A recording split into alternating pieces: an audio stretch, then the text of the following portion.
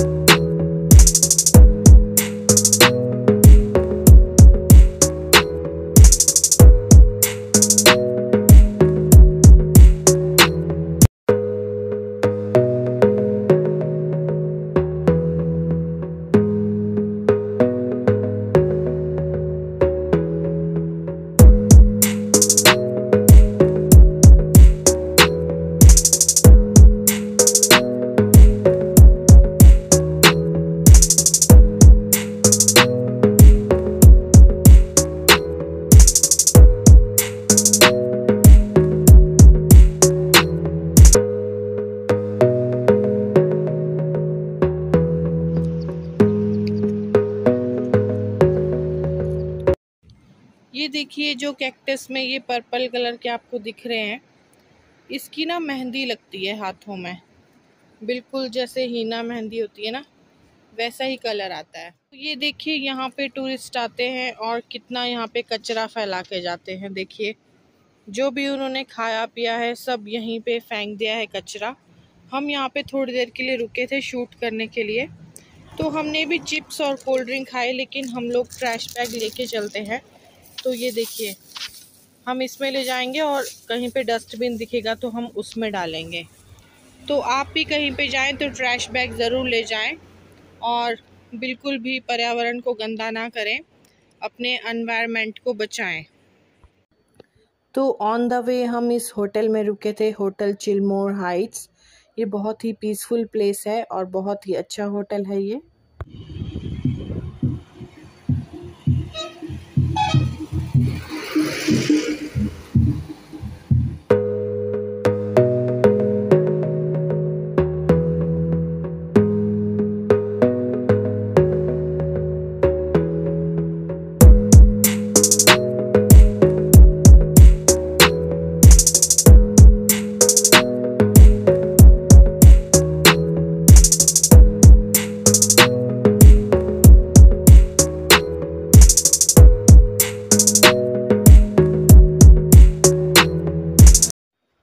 Down stairs जाके इन्होंने अपने रूम्स बनाए हैं तो हम इनके रूम्स देखने जा रहे हैं, जो कि बहुत ही वेल डेकोरेटेड हैं और वेल मेंटेन्ड है, बहुत ही हाइजीन का इन्होंने ध्यान रखा है।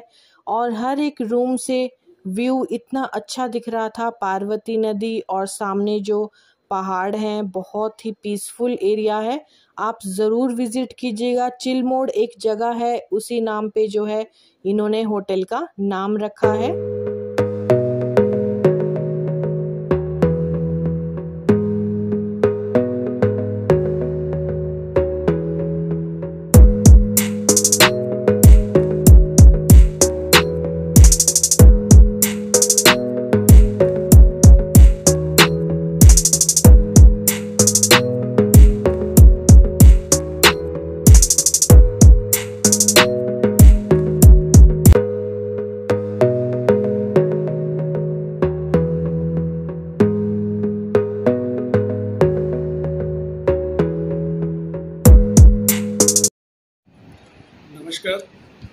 प्रवीण कुमार हम यहाँ पे होटल चिलमोर हाइट्स रन कर रहे हैं। ये लोकेट ये लोकेटेड है उनतर से छः किलोमीटर, और यहाँ पे टैक्सी से या फिर आपका बसेस से पहुँचा जा सकता है। और अभी जो ये वीडियो शूट हो रही है, ये प्रिया मैम ने बताया कि इनका यूट्यूब चैनल है तो उस पर कुछ एडवर्टाइज करना चाहती हैं।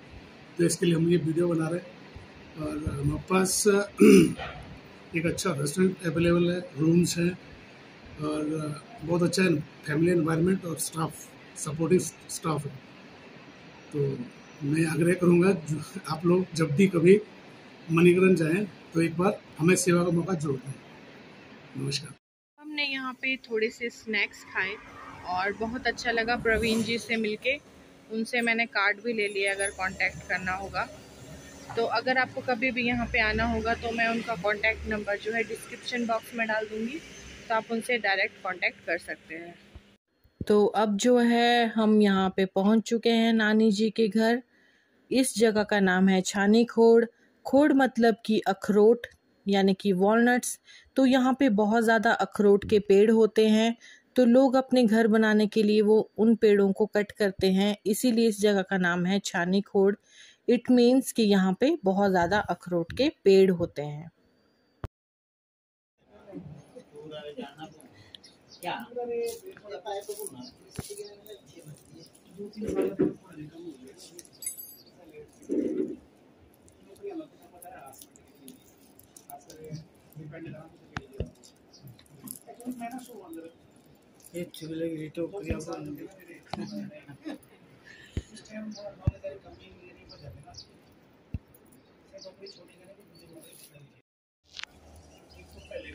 तो ये है नानी जी और ये बना रहे हैं टोकरी।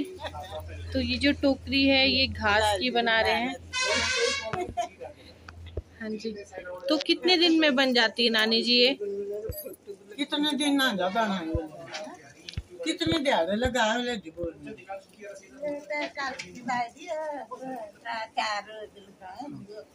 तीन चार दिन में ये जो टोकरी है, ये बन के तैयार हो जाती है।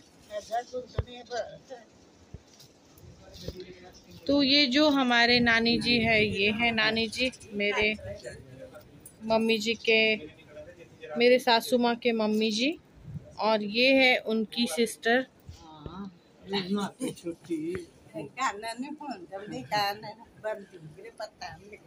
अच्छा। तो तैयार हो के ये बास्केट इस तरीके की बनती है और ये मुझे गिफ्ट मिली नानी जी की तरफ़ से। तो ये देखिए पुदीना कितनी अच्छी तरह से यहाँ पे लगा हुआ है। तो अब मैं दिखाती हूँ नानी जी का खेत। तो यहाँ पे इतने नैरो जो है रास्ते होते हैं खेतों में जाने के लिए और इनके खेत में जो है सबसे ज़्यादा है अनार के पेड़, अखरोट के पेड़ और नाशपति के पेड़। तो ये जो है, ये लगा हुआ है हरा धनिया और ये है मेथी लगी हुई और ये है अनार के पेड़, जो कि सीडलेस अनार है इनके पास, जो कि खाने में बहुत ही मीठा होता है और इसमें सीड्स नहीं होते हैं। तो यहाँ पे देखिए अनार जो है, कितने सारे लग चुके हैं और सबसे ज़्यादा जो है इनका अनार का बिज़नेस है। यहाँ पे अनार बहुत अच्छे से होता है और ये है अखरोट का पेड़ यानी कि वॉलनट का पेड़, और यहाँ पे जो है अखरोट थोड़े थोड़े आने भी शुरू हो गए हैं।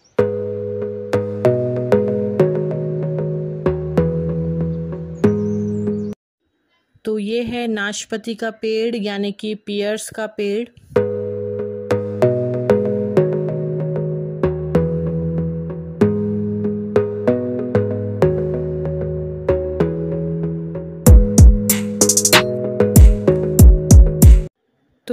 देखिए, एक छोटा सा अखरोट है, पेड़ पे लगा हुआ।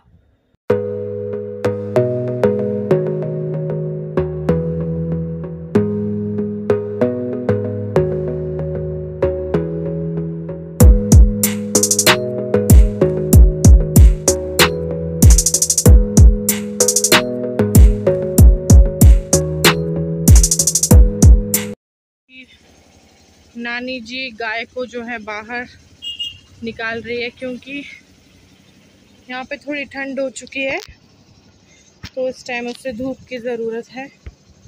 तो यहाँ पे जो इन्होंने गाय रखी होती है,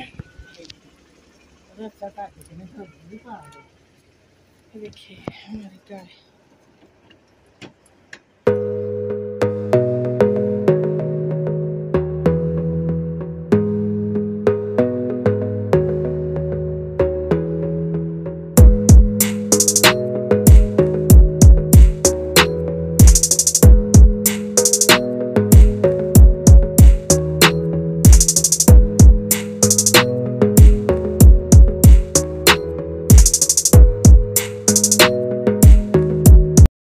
तो यहाँ पे जो है घास सुखाने के लिए रखा है ताकि सर्दियों में गाय के काम आ सके खाने के लिए। और यहाँ पे बनाए हुए हैं गाय के गोबर के उपले, जो कि धूप में सुखा के इन्हें जलाने के काम आते हैं। और ये नाना जी ने यहाँ पे एक घर बनाया हुआ है, दो तीन मंजिल का और एक फ्लोर जो है ऊपर किराए पे दिया हुआ है।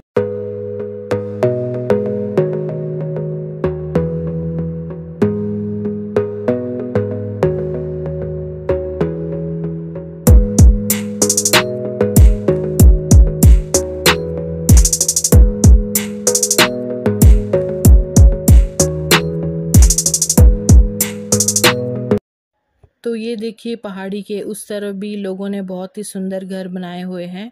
और ये जो नदी आप देख रहे हैं, ये है पार्वती नदी।